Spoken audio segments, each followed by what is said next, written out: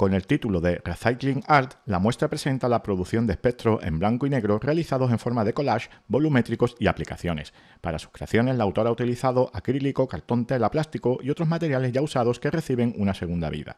El concepto clave de la exposición es el llamado arte reciclado, una técnica ecológica que permite no producir cosas nuevas, sino repensar las existentes y verlo desde un nuevo ángulo. Las obras son simples, comprensibles, carismáticas y armoniosas, resuenan en los corazones de adultos y niños. Pueden decorar cualquier interior con sus composiciones originales y texturas pronunciadas. Ekaterina Shelnysheva trabaja con la técnica del arte de reciclaje y se inspira en la materia obsoleta, lo que se llama basura. Utiliza plástico, telas, vidrios, piedras, caucho y cartón.